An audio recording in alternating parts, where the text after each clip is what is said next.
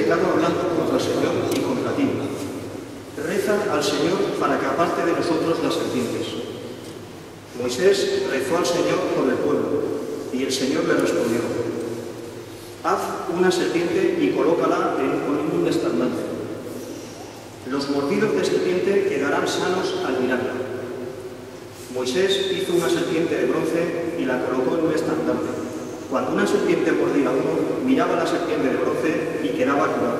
Palabra de Dios. No olvides las, las acciones del Señor. No olvides las acciones del Señor. Escucha, pueblo mío, mi enseñanza. Inclinad el oído a las palabras de mi boca. Que voy a abrir mi boca a las sentencias, para que broten los, enig- los enigmas del pasado. No olvidéis las acciones del Señor. Y cuando lo hacía morir, lo buscaban y madrugaban para volverse hacia Dios. Se acordaban de que Dios era su roca y Dios Altísimo su Redentor. No olvidéis las acciones del Señor. Lo dudaban con sus bocas, pero lenguas mentían, pero sus lenguas mentían. Su corazón no era sincero con ni eran fieles a su alianza. No olvidéis las acciones del Señor. Él, en cambio, sentía lástima, perdonaba la culpa y no nos destruía. Una y otra vez reprimió su cólera y no despertaba todo su furor. No las palabras. Lectura de la carta del apóstol San Pablo a los filipenses. Cristo, a pesar de su condición divina, no hizo alarde de su categoría de Dios. Al contrario, se despojó de su rango y tomó la condición de esclavo, pasando por uno de tantos. Y así, actuando como un hombre cualquiera, se rebajó hasta someterse incluso a la muerte, y una muerte de cruz. Por eso Dios lo levantó sobre todo y le concedió el nombre sobre todo el nombre, de modo que al nombre de Jesús toda rodilla se doble, en el cielo, en la tierra, en el abismo. Y toda lengua proclame, Jesucristo es Señor, para gloria de Dios Padre. Palabra de Dios.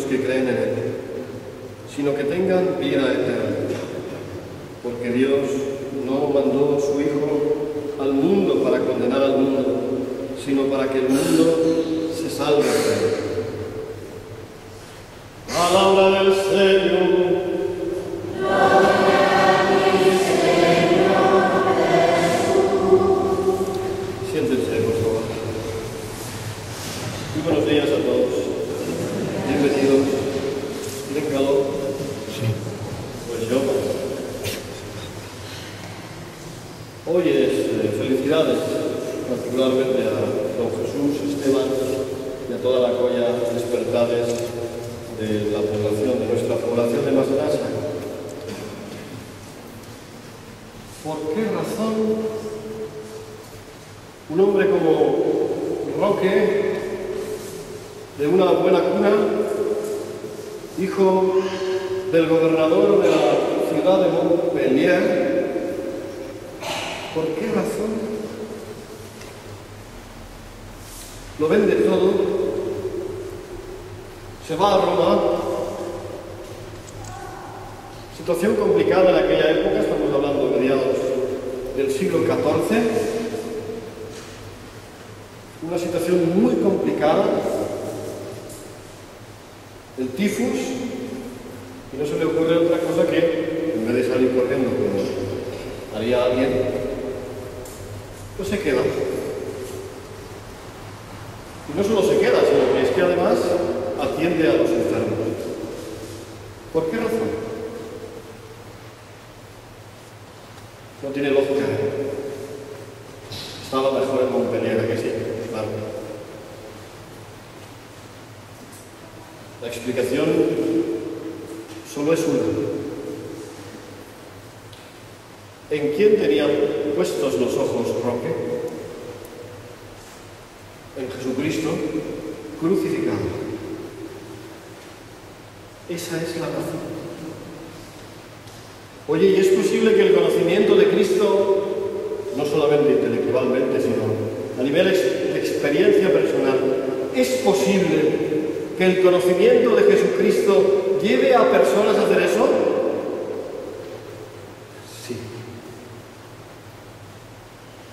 Pues yo estoy mejor en mi casa, en mi Montpellier. Te aseguro que te equivocas. Es verdad que en nuestro pequeño Montpellier personal hay comunidades, controlamos situaciones, tenemos nuestro estatus social, ¿no? Y si dejamos eso, ¿qué? ¿Qué queda? ¿Qué me queda si dejo eso? Jesucristo, ¿eso qué? Y no hay cosa más grande que eso. Jesucristo, dice el mismo en el Evangelio, dice, lo mismo que Moisés elevó la serpiente de bronce aquella para que los israelitas la miraran y quedaran curados, lo mismo tiene que ocurrirme a mí. Lo que yo he venido a hacer este mundo es ser colgado en un madero y morir, repudiado por los demás. Y alguien diría, pues menuda vida te ha tocado. Y Jesús contestaría, la he elegido yo. La he elegido yo. Mi padre me lo pide y yo le digo que sí. Así que el criterio de una buena vida o una mala vida no está en los bienes temporales, sino en la obediencia a Dios. Y eso es lo que San Roque, es otra cosa. San Roque se puso enfermo. Y cuando vio que su cuerpo estaba lleno de llagas, eso es, la llaga es carne muerta, que tendría que apestar eso, dijo, me voy a una cueva, ya no molestar a nadie y para no contagiar a nadie. ¿Quién se apiada de él? El perrito. Todos los días el perrito le llevaba su bocado a la cueva. ¿Y de quién era el perrito? Mira tú por dónde, de un señor rico. Y cada vez que el perrito se llevaba la comida, el hombre estaba integrado por esto. ¿Qué hace mi perro? Y un día se decide a encuentra que el hombre metido en aquel agujero pestilente. Cuando se da cuenta, lo lleva a su casa, porque era muy conocido en Roma. Cuando iba por la calle le decían, ahí va el santo, por lo que hacía por la gente, por lo que hacía por los enfermos. Lo cierto es que lo llevan a la casa del y queda curado. Decide volver a Montpellier. ¿Y qué le ocurre a Roque? Guerra en Francia. Lo confunden con una espía. Y lo meten en la por cinco años. Vaya vida, ¿eh? Todo te ha tocado. Y Roque diría que no, que duele ¿Y qué es lo que hacía Roque la cárcel? Nada. O todo. Acompañaba a los presos, los alentaba, los animaba. les hablaba de Cristo, les daba esperanza, a pesar de la muerte, a pesar de la circunstancia de guerra. Imagínate la cárcel tú y yo, sin la familia, sin los amigos, sin nada. ¿Qué queda? Cristo. Pero si no lo conoces. Dios en la primera lectura nos dice que el pueblo de Israel, como nosotros, los que estamos aquí, de camino y dice literalmente, el pueblo estaba extenuado del camino. Y yo decía ayer, ¿qué es la vida? Un camino extenuante. Lo vuelvo a repetir. La vida es un camino extenuante. ¿O no? ¿Sí o no? Sí lo es. Sí lo es. Hay veces que tiene trozos hermosos, tranquilos, sosegados, pero hay otras veces que la vida es insoportable. No ya por la desgracia de uno, sino el desafecto, la soledad, el paro, yo no sé, estas cosas. Y Dios nos invita a todos los que estamos aquí, a todos, a todos, a que vivamos mirando al Cristo, siempre.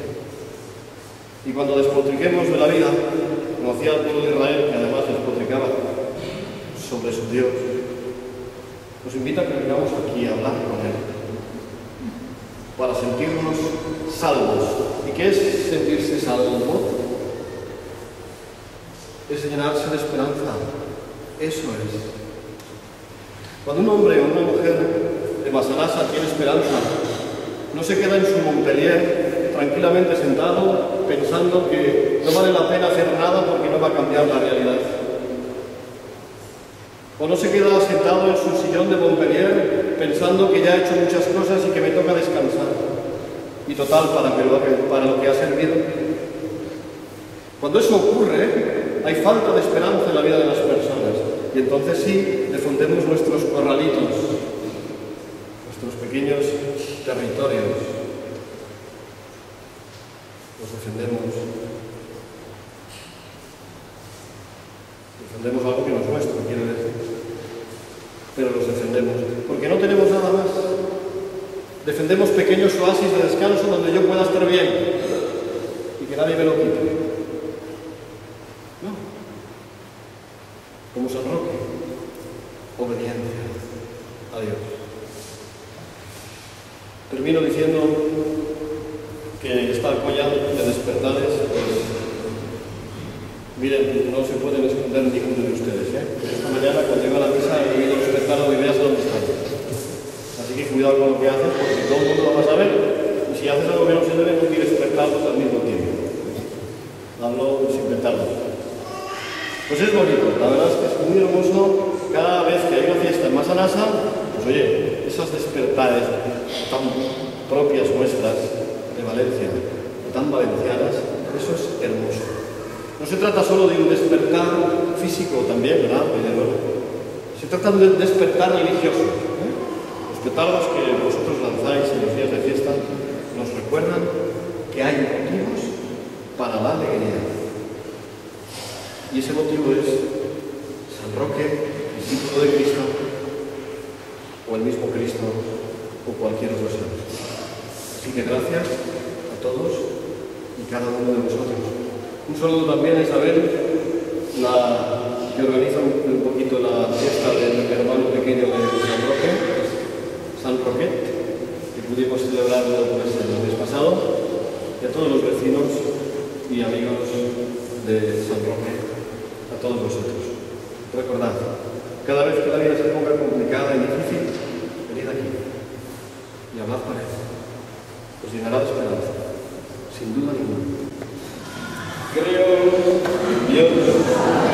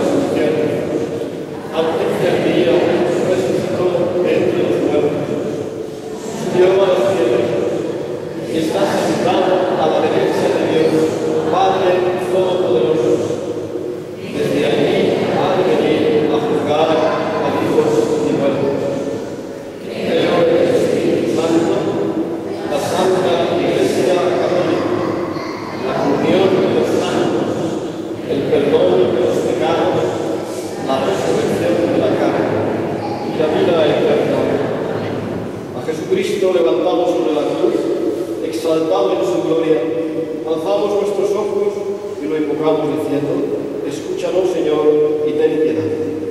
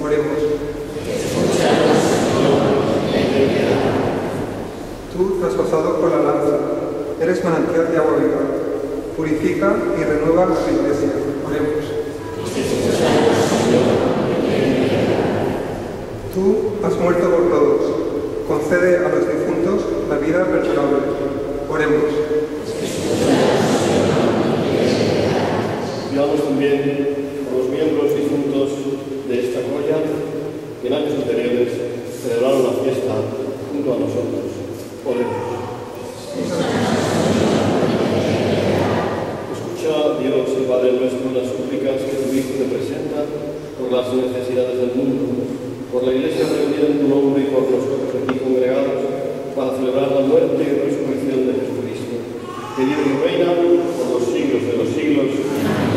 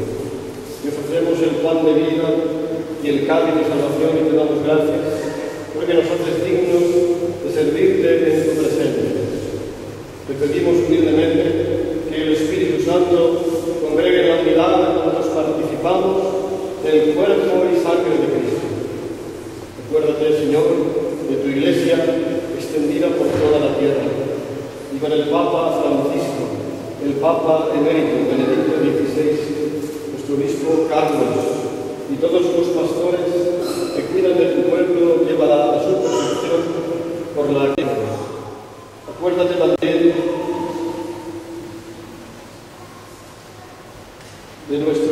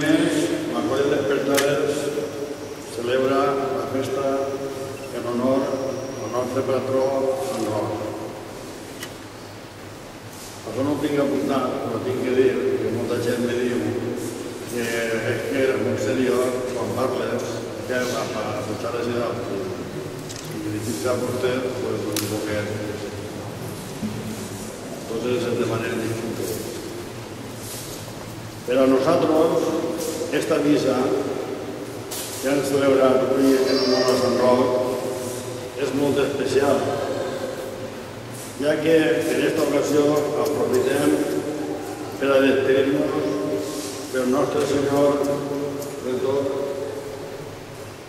del bon procés de desitjant-li tota la sort del món,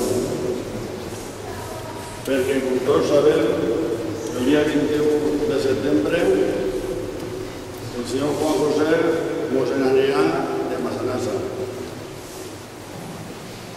En esta ocasión nos presenta de flor de los años l'anem a deixar hacia la iglesia para la beata Francisca Guayado. Fins a l'any que ve. Visca!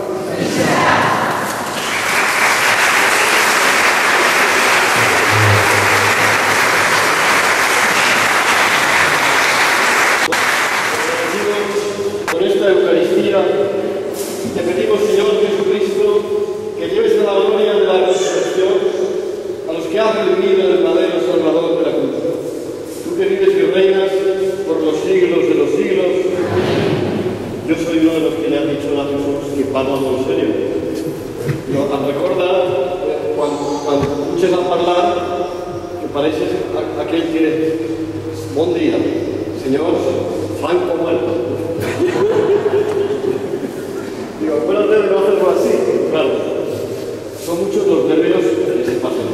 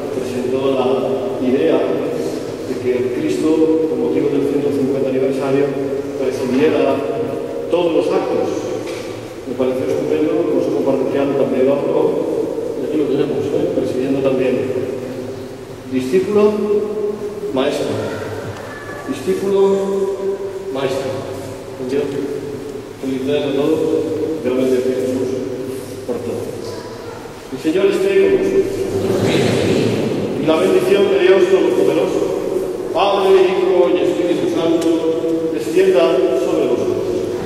Podéis ir.